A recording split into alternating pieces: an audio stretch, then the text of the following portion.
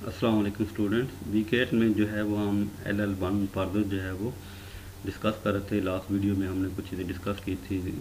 उसमें हमारे पास जो है वो हमने फ़र्स्ट स्टेप जब डिस्कस कर लिया था एलिमिनेट लेवल करजन उसके बाद सेकंड स्टेप हमने डिस्कस कर लिया था कैलकुलेट फ़र्स्ट सेट तो हमारे पास जो गिवन ग्रामर थी, उसमें से हमने देखा था कि उसमें अगर हमारे पास जो है वो लेफ़्ट कर्जन आ रही थी तो हमने सबसे पहले लेफ़्ट कर्जन उसमें रिमूव कर दी थी। फिर उसके बाद जो है वो हमने जो नेक्स्ट हमारा स्टेप था, उसमें हमने जो है वो जो जितने नॉन टर्मिनल्स थे, उनको यूज़ करते हुए हम उनका फ़र्स्ट सेट फाइंड कर चुके थे। अब तीसरा जो केस था स्टेप था वो है फॉलो सेट का। तो फॉलो सेट किस तरह फाइंड करते हैं?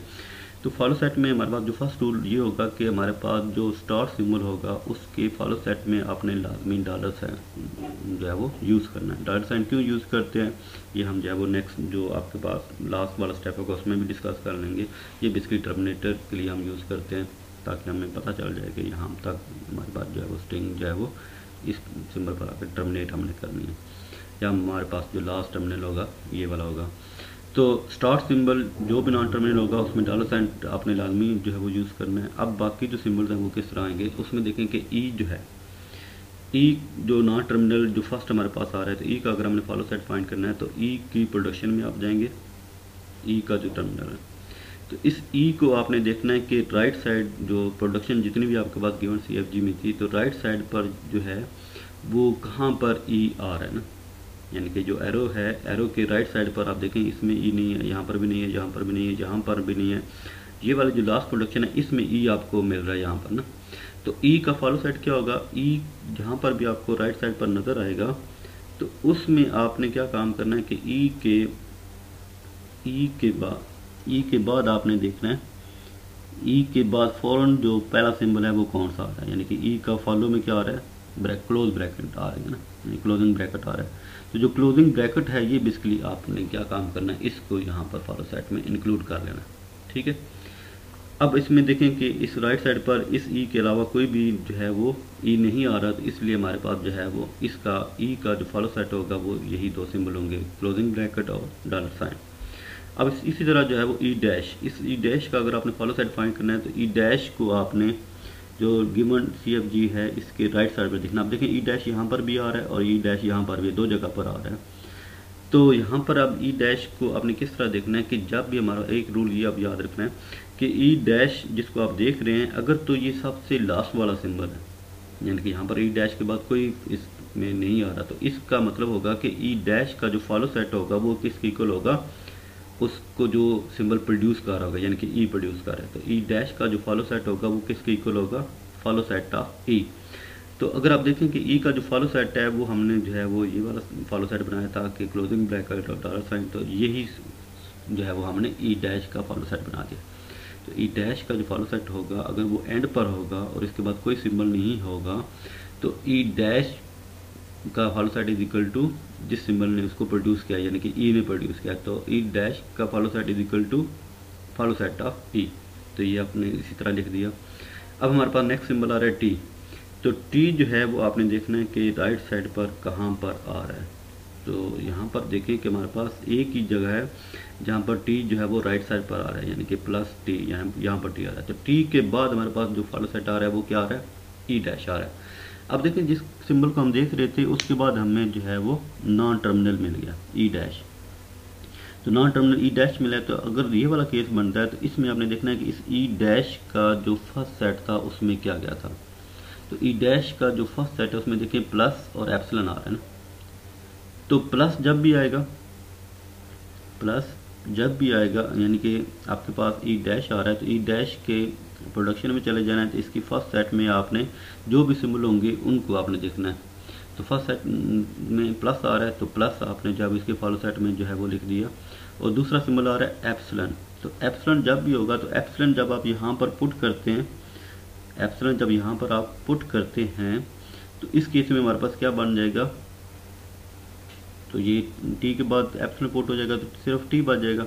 तो टी क्योंकि आप लास्ट सिंबल बन गया तो लास्ट सिंबल बन गया तो इसका मतलब है कि टी का जो फॉलो सेट होगा, वो किसके इक्वल हो जाएगा? ई डैश के फॉलो सेट के इक्वल हो जाएगा।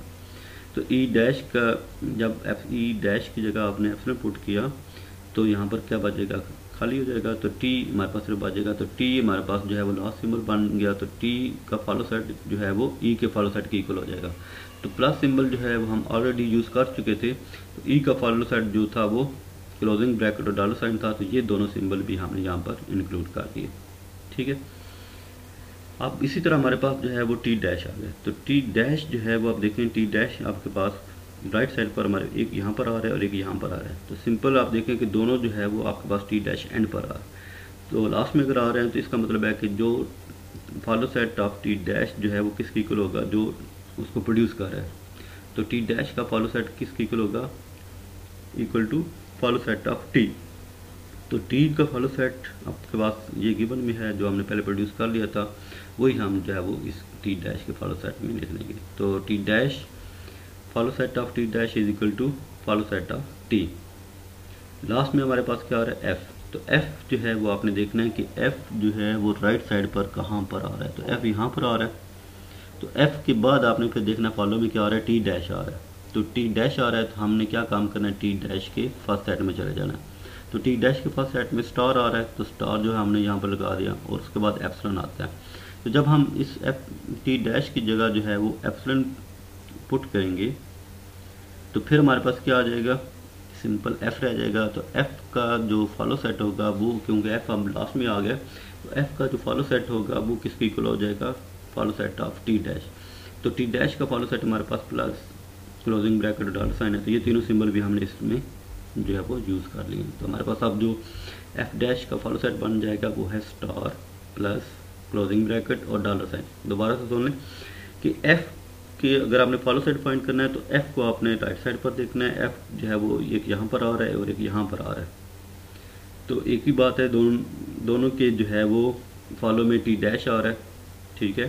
तो अगर नॉन टर्मिनल होगा तो हमने क्या काम करना है? टी डैश के फ़र्स्ट सेट में चले जाना है। फ़र्स्ट सेट में जो भी सिंबल होंगे एप्सलन के अलावा, वो हमने इसके फॉलो सेट में लिखने तो यहाँ पर स्टार था तो यहाँ पर भी हमने स्टार लिख दिया।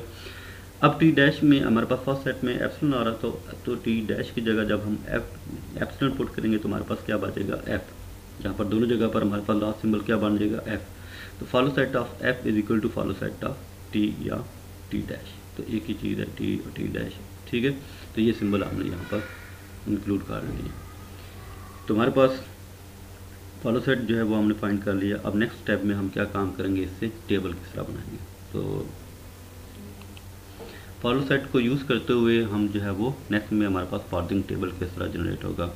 तो सबसे पहले आपने क्या काम करना है कि उसी तरह जो है वो नॉन टर्मिनल्स जितने भी थे, उनको आपने जो है वो कॉलम में लिख लिया।